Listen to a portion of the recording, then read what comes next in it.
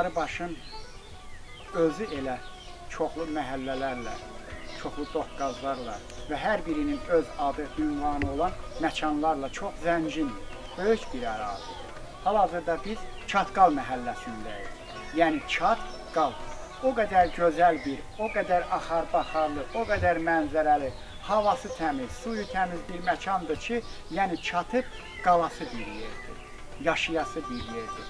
Hərdən bəzi insanlar el arasında bura e, Çaqqal məhəlləsi də deyirlər. Yəni bu uyğunsuz bir sözdür. E, amma buranın adı Çaqqal məhəlləsidir. Bu məhəllədə də çox görkəmli nəsillər yaşayır. Çox böyük şəxsiyyətlər burada doğulub, böyüyüb, buradan pərvazlanıb.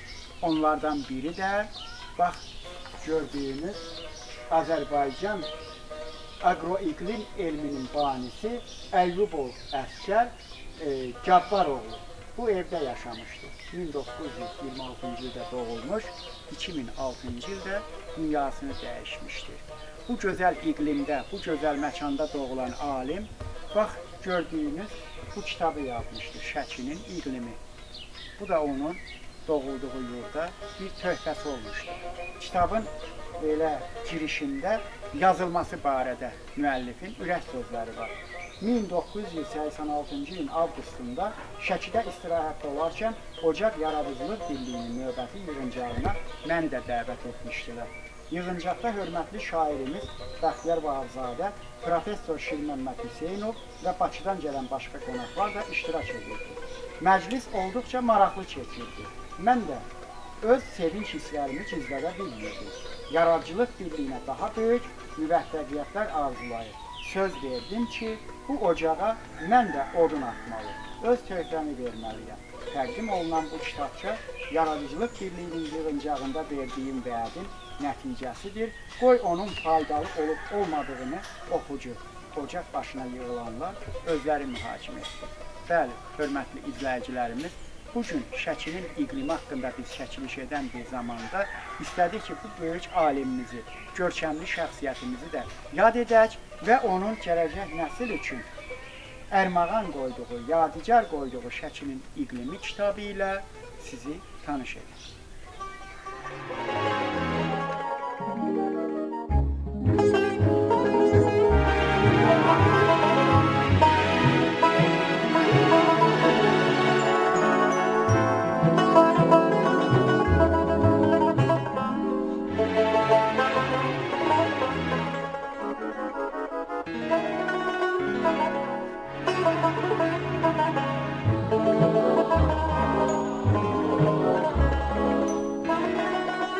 Bulağı yerləşən ərazi indiki kimi yaşayış evlərinin çox əhatəsində deyildi. Həmin ərazi böyük məhəllə bazarı idi. Bulağın sırası boyu dəmirçi dükanları, nalbənd və sərrac dükanları vardı. Deyilənlərə görə bu bulağı da onlar çəkdiriblər. Belə də demək olar ki, Türkdilli dəmirçilər tayfasının adı bu toponimdə əks olunur.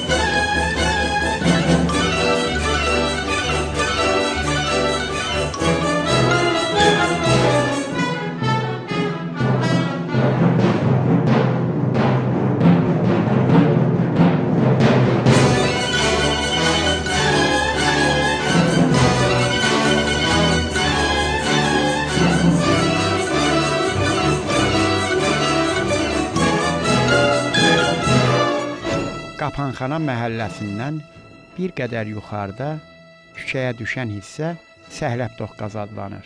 Görünür həmin yerdə bazarın Səhləb çayxanası yerləşib. Səhləb çayxanaları ötən əsrin əvvəllərinə qədər Şəkidə mövcud olub. Gəldi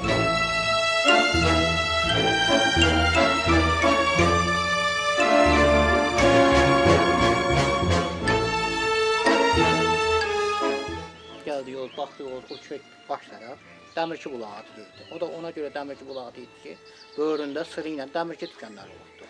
Həm də orada bazar yeri. Bazar yeri. Oradan qalxan aralıq başqarı qalxan. Ora qapan yeri olubdu. İlyas bəyin yeri olub. Adına da qapan yeri deyildi. Orada bazarın qapanı olubdu.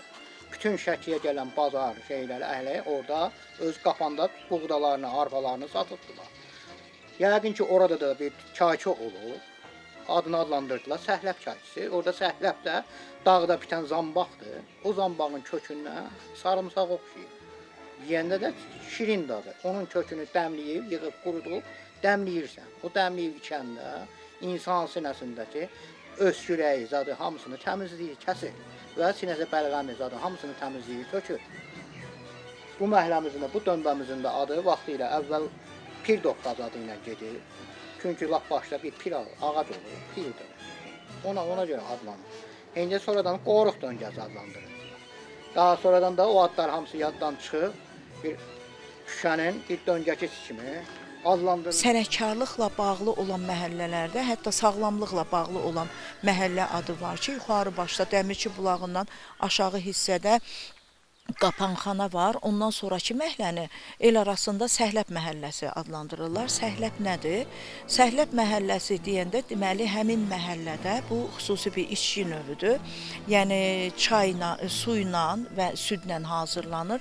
Səhləb deməli e, bitkinin adıdır ki, e, Şəkidə Şimal-Qərbdə Qafqaz dağları sırasında deməli e, həmin bitkinin kökünü götürürlər və onun e, südlə qarışdırıb onun məlhəm hesab edilən çayını hazırlayırdılar. Yəni Şəkiyə gələn qonaqlar səhləb içməkdən ötürü həmin səhləb məhəlləsinə gəlirlər. Yəni bu tarixi yaddaşlarda olan bir şeydir. Bu gün də olsa çox gözəl olardı. Yəni həmin bitkini tanıyan, tapan bir insan. İndi mən bu televiziyadan da müraciət eləmək istəyirəm ki, əgər o bitkini bilirlərsə, e, deməli həmin bitki, həmin səhləb içkisi e, siniyə dərmandır, soyuq dəyməni aradan qaldırır və sentyabr ayından may ayına kimi bu istifadə edilən müddəti budur. Heç şübhəsiz ki, bu bitkini tanıyan, kəramətini bilib toplayan həvəskarlar onun toplanması, artırılması, dəmlənib satılması və ya qurudulub toz halına salınıb satılması işini də genişləndirsələr, bu zamanəmiz üçün gərəkli bir iş olar.